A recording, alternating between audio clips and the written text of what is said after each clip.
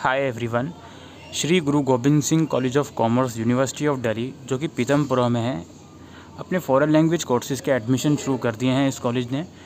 Foreign language के अंदर आप इसमें फ़्रेंच जर्मन और जापानीज़ लैंग्वेज में सर्टिफिकेट प्रोग्राम कर सकते हो।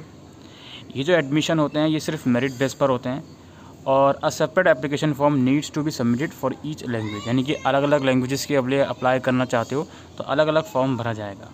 Student will be admitted to only one of the language यानी कि प्रोग्राम में सिर्फ़ एक ही प्रोग्राम में एडमिशन ले सकते हो अप्लाई चाहे आप मल्टीपल प्रोग्राम के लिए कर सकते हो।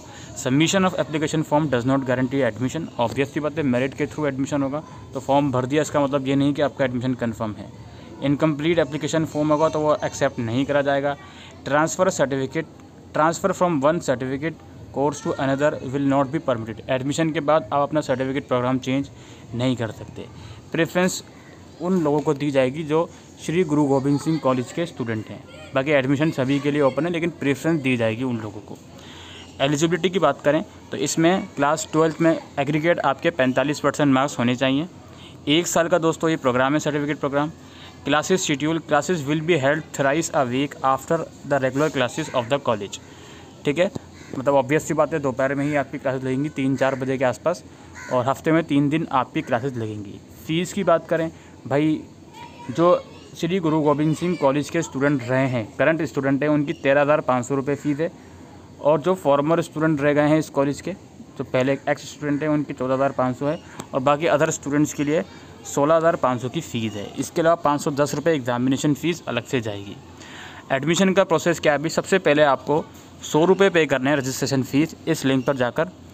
उसके बाद स्टेप टू है पेमेंट करने के बाद search for transaction I D by entering your mobile number and email I D go to button bottom of this page इस पेज के बॉटम पे जाकर आपको अपनी ट्रांजेक्शन आईडी वगैरह सर्च करनी है और अपना मोबाइल नंबर और ईमेल आईडी लिखना है और सबमिट बटन पे क्लिक करना है। उसके बाद आपको अपने ट्रांजेक्शन आईडी नोट डाउन कर लेनी है और ये जो ट्रांजेक्शन आईडी है, ये फिल करा जाएगा रजिस्ट्रेशन फॉर्म में। ठीक है? पेमेंट करने के बाद ट्रांजेक्शन आईडी यहाँ मिलेगी आपको। ट्रांजेक्शन आईडी मिल गई, फिर आपको रजिस्ट्रेशन करना है। रजिस्ट्रेशन करने के लिए भी अलग अलग लिंक्स कोर्सेज वाइज बनाए गए हैं। फ्रेंच जर्मन और जापानीज़ लैंग्वेज के लिए यहाँ जाके आपको फॉर्म भरना है। इसके बाद आपको डॉक्यूमेंट अपलोड करना है कुछ, जिसमें आपका फ़ोटोग्राफ होगा और सिग्नेचर होगा। सेल्फ अटेस्टेड कॉपी होगी टेंथ और ट्वेल्थ की मार्कशीट की। और अगर ग्रेजुएशन या पोस्ट ग्रेजुएशन करी हुई है तो उसकी फ़ोटो कॉपी आप लगा सकते हो, अगर करी हुई है तो। और करेक्टर सर्टिफिकेट चाहिए होगा आपको लास्ट इंस्टीट्यूट से।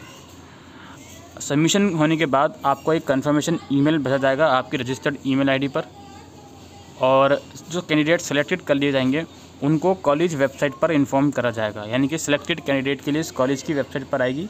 और लिस्ट आने के बाद आपको जो पेमेंट है एडमिशन फ़ीस है, अगर आपका नाम रहता है तो तीन दिन के अंदर आपको पेमेंट करनी होगी। Last date for submission of form is चौबीस अगस्त। यानी कि ये जो फॉर्म निकले हुए हैं, इसको भरने की लास्ट डेट चौबीस अगस्त है।